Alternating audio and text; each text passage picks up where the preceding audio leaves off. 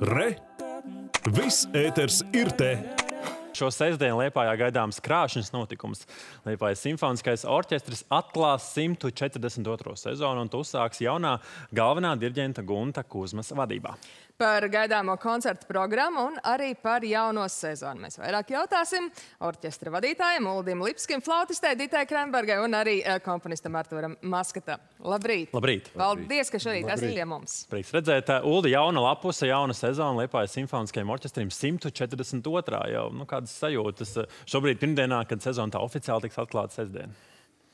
Šis ir ļoti nozīmīgs pagrieziens, jo galvenie diriģenti un mākslinieckie vadītāji nemainās tik bieži.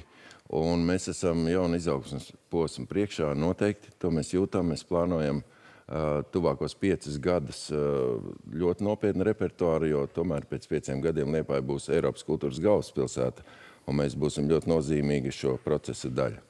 Jā, jau minējām, tā tad tiešām jauns galvenais diriģents Guntis Kuzma. Kā jūs raksturotu viņu? Kāds ir viņa stils, viņa radošā um, niša? Gunts ir ļoti spēcīga persona, un viņā ļoti labi balansējas uh, emocionāls spēks ar tomēr attīstītu domāšanu, ar strukturētu domāšanu. Līdz ar to mēs redzam viņu ne tikai kā līderi uz skatuves, bet arī kā intelektuālu centru mūsu repertuāru būvēšanā un partneru loku veidošanā. Mēs skatāmies ar lielām cerībām un arī ļoti atbalstam Gunti spēcīgas un radošas personas. Jums arī līdzās eh, sestdien eh, koncertā būs īpašs notikums. Eh, komponista Artura Maskata jaundarba pirmatskaņojums trīskāršā koncerta bērnības taureņa dejas erģelēm, flautēm klavierēm.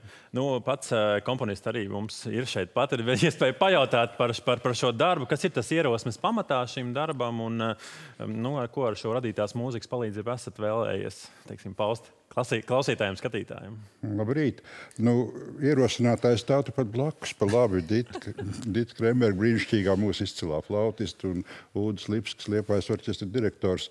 Jo pirms pieciem gadiem, kad notika mana klavieru koncerta pirmatskaņojums ar Reini Zariņu, Eh, tad radās šī ideja, ka varētu būt tāds trīskāršais koncerts, kurā būtu ar orķestru kopā trīs solisti - Erģionieca Iveta Apkalna, Dita Kremberga ar flautu un Reinis Zariņš pie klavierēm. Un, uh, tad mēs vēl nezinājām, ka Gunts Kuzma būs galvenais diriģents un ka tas beigās izvērsīsies tā, kā tas šodien ir plānots uh, notikt. Mm, tā kā, tāds bija mans tas radošais uzdevums, uz kuru es gāju šos te šo skaņdarbus atcerot. Nu, pats skaņdarbs saturs ir iešifrēts varbūt arī tajā nosaukumā. Tā ir bērnības tēma, un tās ir noteikti dejas, kas laikam ir klātesošas man visu dzīvi. Skaļi, lieli un tiešām atpazīstami plašu popularitāti iekurojuši vārdi. Iveta Apkalna, Reinis Zariņš un Diti, jūs arī šajā pirmatskaņojumā. Kā jūs raksturot, kāds ir šis koncerts? Pašreiz es tikai apmēram nojaušu, kas tas būs. Jo mēģinājumi kopā ar orķestri tikai ir nākamajā nedēļā.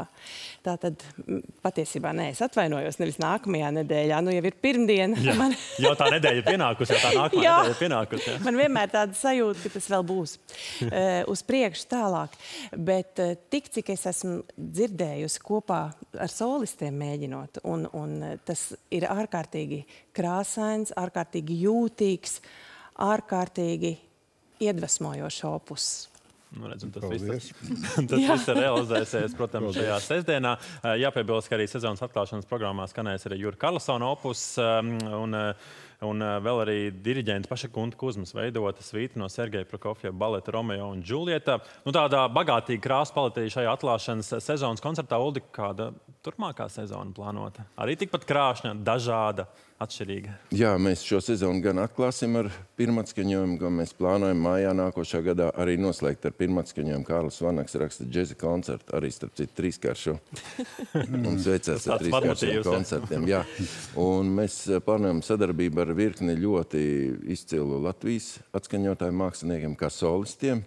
Mums būs arī interesanti viesdiriģenti. Zvaigžņu festivāls ir plānots eh, pavisam neparasts, jo viņā vairāk ienāks jaunība. Uh, salīdzinot ar iepriekšējiem 30 festivāliem, kas ir bijuši.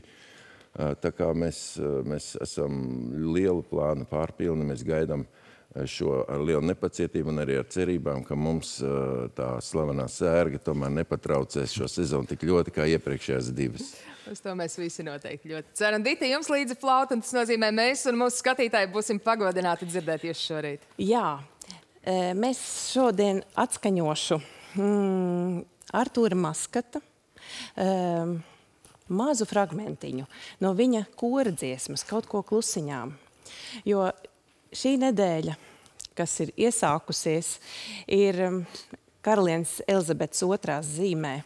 Un man likās ļoti piemērot tieši šis skaņdarbs, uh, kur pamatā ir Ojāra Vācieša dzējolis, kaut ko klusiņām.